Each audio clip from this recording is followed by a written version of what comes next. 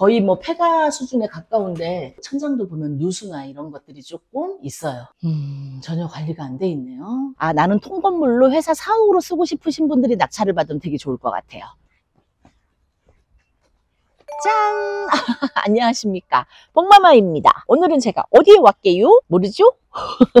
알려드리겠습니다. 제가 송파구 가락동에 와 있습니다. 건물주 되는 오늘 물건을 하나 좀 소개를 해드릴 건데요. 여기는 이제 송파의 경찰병원 뒤쪽이라고 보시면 돼요. 도로가는 아니고 지금 보시는 것처럼 이렇게 약간 골목의 사거리 코너에 딱 있는 이 건물 바로 이 건물이 경매가 나와서 오늘 여러분들께 좀 보여드리려고 왔습니다. 보면은 이제 현일 빌딩이라고 이제 되어 있는데 1층, 2층, 3층으로 이루어져 있고요. 4층에는 주거용 시설이 좀 있는 것 같아요. 창고나 코너에 딱 있다 보니까 건물은 외곽에서 볼 때 굉장히 커 보이는 효과는 있죠. 골목이기는 한데 여기서 들어오고 큰 길로 나가는 길이 바로 있고 집 앞에 놀이터도 있고 아이들 공원이 바로 앞에 있어서 화장실도 있고 그러네요. 근데 이쪽으로 한번 둘러볼게요. 골목에 딱 코너에 있어요. 근데 골목이 바깥으로 나가는 쪽에서 조금 가깝다 보니까 위치적으로 나쁘지 않거든요. 그리고 역세권이고 지금 이 건물인데 1층은 지금 가게들이 거의 폐업 수준인 것 같고요. 오래되고 관리가 잘안 되다 보니까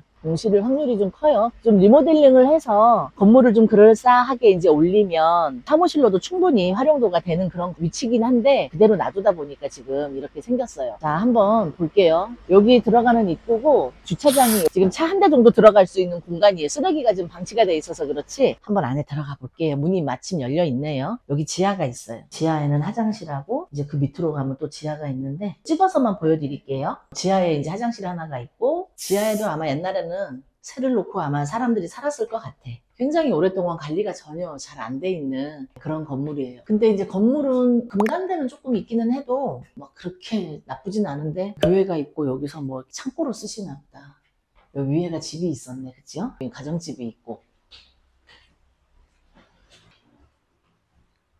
아, 여기가 이제 3층인데 가정집이었었는데 여기를 지금 다 공실로 어, 문 같은 것도 다 파손되고 건물 전체가 지금 관리는 안 되고 이런데 천장도 보면 누수나 이런 것들이 조금 있어요. 음, 전혀 관리가 안 돼 있네요. 주방이랑 이제 방이 이렇게 유리창도 좀 깨지고 좀 다 그랬네. 이사를 다 갔나 봐요. 이사를 다 가고 버리고 그냥 다 가버렸네. 2층은 집인데 밑에는 누가 살고 있는지는 모르겠는데 일단 문이 닫혀 있어서 그렇고 여기는 열려 있어서 오픈돼 있어서 제가 들어와 봤고요. 올라가 볼게요. 어, 여기가 이제 옥상인데 관리 안된것좀 보세요. 옥탑방 집이 엄청 크네. 작지가 않고 여기 보일러실 있고 바닥에 방수 전혀 안 돼 있어. 그러다 보니까 결로가 생길 수밖에 없는 거지. 이게 위치도 나쁘지 않고 좋은 집을 갖다가 관리가 전혀 지금 아마 비 때문에 이제 방치하고 못하다 보니까 이렇게 된 것 같아요. 지금 통신 회사하고 계약이 돼서 아마 통신 기기가 지금 임대로 들어와 있는 것 같아요. 옥상에는 거의 뭐 폐가 수준에 가까운데 여기 옥탑에 있는 방인데 다 뭐 공실이고 지금 여기는 비어 있은 지가 한 10년 이상은 된 것 같다. 마룻바닥이 엄청 오래돼가지고 거의 한 10년 이상은 된 것 같아요. 엄마마 구독, 좋아요 꼭 눌러주세요. 자, 이제 제가 이 물건에 대해서 권리 분석을 좀 해드릴 텐데요. 서울 동부지방법원에서 진행을 하는데 2023 타경 1887입니다. 송파구 가락동에 있는 이제 근린시설이에요. 말로 하자면 1층, 2층, 3층, 지층까지 모두 올 근생이란 얘기거든요. 낙찰을 받으시는 분은 올 근생으로 이제 사용을 하실 거면 리모델링을 해서 완전히 이제 사무실로 이제 만드셔야 되겠죠. 제2종 근린생활 시설로 되어 있고요. 토지가 65.34, 65평입니다. 건물의 면적이 이제 153평이에요. 1층부터 3층까지는 32평인데 옥상에도 이제 집이 하나 있었잖아요. 거기가 11평 정도 된다고 보시면 될 것 같고요. 지층이 가장 크지요. 아무래도 한 46평 정도 되는데 예전에는 아마 거기도 이제 집으로 새를 놨을 것 같아요. 공장이나. 근데 지금은 뭐 사람이 살 수 없을 것 같아요. 주차 뒤쪽에 창고가 조그맣게 있던 것도 한 3평 정도 되는데 매각에는 가격이 다 포함이 되어 있습니다. 감정가 굉장히 궁금하실 텐데 33억 8천 지금 한 번 유찰돼서 27억입니다. 이대로는 절대 쓸 수 없고 다 올 리모델링을 해야 된다라고 생각을 했을 때 리모델링 비용이나 이런 거를 계산해서 낙찰을 받으셔야 되겠죠. 아까 제가 올라가서 봤지만 다 비어 있는 상태고 지금 1층에 사무실이 불이 켜져 있어요. 영업을 하고 계시다는 얘기고요. 2층에는 가정집으로 누군가 아직은 사용을 하고 계신 것 같아요. 202호 이쪽에 거주하시는 분이 임차인으로 지금 대항력은 없습니다. 1층에 지금 상가가 1050 정도로 지금 사용을 하고 계시는 것 같고 다른 쪽은 다 거의 비어 있는 것 같아요. 2층하고 여기 1층만 지금 있으니까 다른 세입자들은 거의 다 사업자만 걸어놓고 거주 안 하시고 이런 분들이 많은 것 같고 선순이나 낙찰을 받으시고 돈을 물어줘야 되는 이런 세입자는 단 한 명도 없습니다. 다만 명도를 다 한 다음에 리모델링을 해야 되기 때문에 시간과 비용이 많이 들어갈 수밖에 없는 그런 건물 이에요. 여기 같은 경우엔 세금도 많이 미납이 되어 있었고 빚도 굉장히 많았어요. 그러다 보니까 건물을 거의 관리를 못하고 방치해 놓은 상태로 결국은 이렇게 된 것 같습니다. 제가 볼 때. 보존 등기일이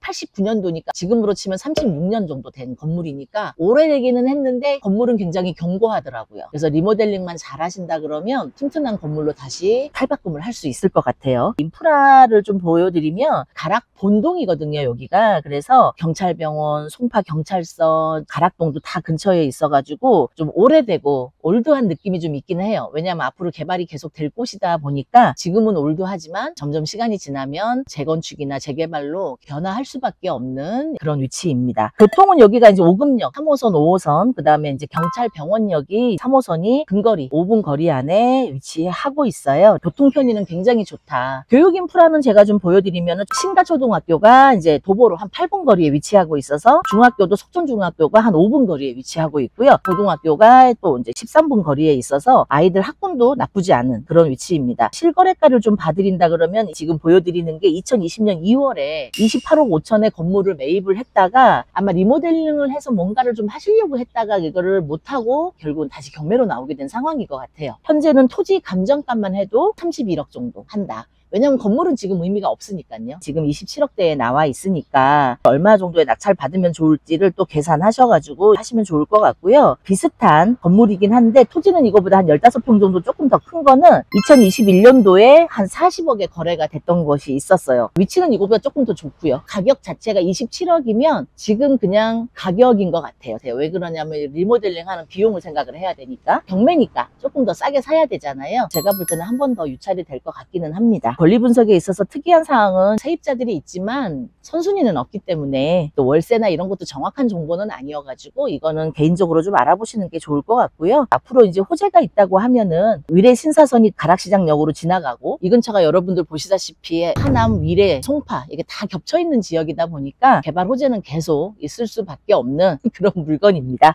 장점을 좀 말씀을 드리면 위치가 일단 좋다. 땅값을 생각하면 good이다. 단점은 관리가 안 돼서 리모델링을 해야 되는 것이 단점이자 또 새 건물로 탄생할 수 있는 장점이 될 수도 있고 리모델링이라고 하는 건 결국은 투자가 들어간 거니까 그 이상의 가치를 또 뽑아낼 수가 있는 거라서 건물주 되고 싶으신 분은 여기 붙으십시오. 이런 건물도 와서 한번 임장도 해보시고 마음에 드시는 분 또 낙찰 받으시면 좋을 것 같습니다. 어, 위치 좋은 곳 오늘 하나 보여드렸고요. 안에를 보여드릴 수가 있어서 좋았던 것 같아요. 저의 개인적으로는 저 맨 꼭대기에 지금 통신사들이 장비를 다 지금 임대를 해서 계약들이 아마 들어가 있을 거예요. 나중에 낙찰 받으시는 분 들은 저 부분은 조금 확인을 하시고 왜냐면 임대 기간 동안은 저걸 철거를 할 수가 없거든요. 그 부분을 확인하시고 진행을 하셔야 될 것 같습니다. 이 건물은 사무실로만 사용하는 게 좋을까요? 이거를 리모델링을 올 한다고 해도 가정집을 만들기는 더 안 좋을 것 같고 사무실로 꾸며서 새를 놓는다고 해도 새가 썩 그렇게 잘 나갈 것 같진 않아요. 왜냐면 도로변 쪽에 있는 사무실들이 전부 다 운정동 법조단지 쪽으로 많이 옮겨가고 있어가지고 사무실이 잘 새가 잘 안 나가요. 아 나는 통건물로 회사 사옥으로 쓰고 싶으신 분들이 낙찰을 받으면 되게 좋을 것 같아요. 주거로도 안 되고 올